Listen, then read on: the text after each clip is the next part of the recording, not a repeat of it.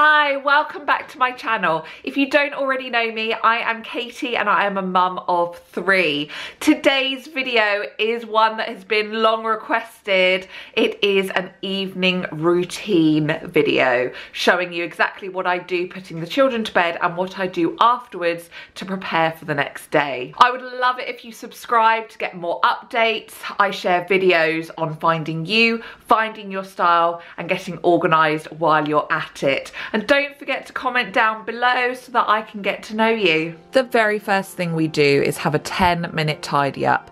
We put some music on and we just put everything back in its rightful home, make sure all the toys have been put away and the children have always done this so they they get involved, they put everything away. I make sure all the table is tidied away from dinner and just make sure that it's it's nice to come down to the following day. There's nothing worse than coming downstairs to a messy living room. Then it is off upstairs to get the children ready for bed.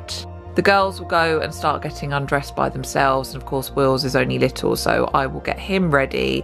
But he is in charge of putting his dirty washing away and make sure that he is trained up.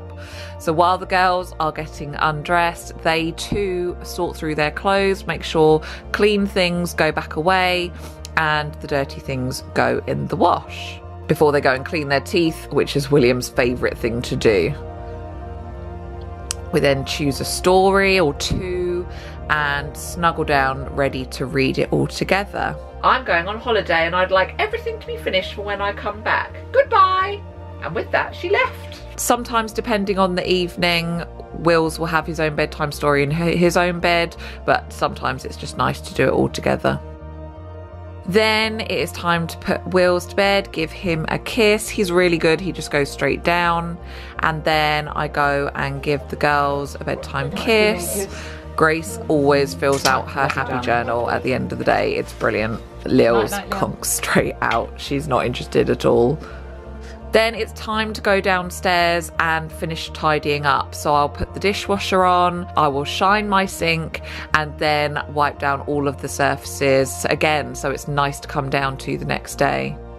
Then I will head back upstairs and I will get my pajamas on and I will lay out my clothes for the next day. Then, once I've got my pajamas on, I will take my makeup off and I'm loving the reusable wipes at the moment, these little pads, they just get everything off.